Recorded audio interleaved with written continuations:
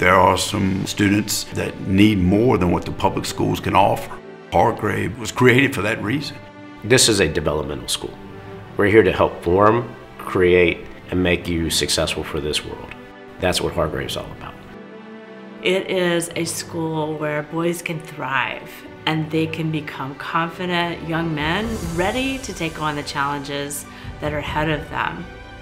People think it's like boot camp or something like that, but it's really just a boarding school, like a college prep school, but it has more military structure.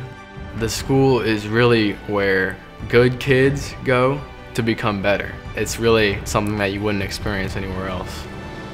We have our four pillars, faith, academics, athletics, and character. The character carries across through academics, faith, and athletics. And so what I try to do is integrate faith into the other three pillars so that when they leave Hargrave, they know that faith is going to be there and it can be incorporated into every facet of your life.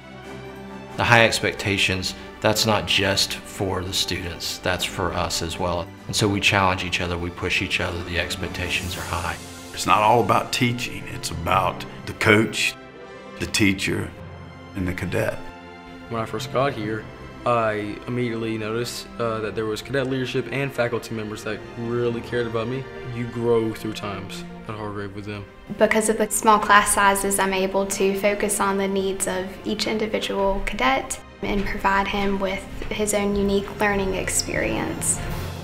If they buy into the program, it produces excellence. I've seen it. I think probably one of the best decisions we've ever made was the decision to send him to Hargrave. I gained my faith here. I gained lasting friendships here.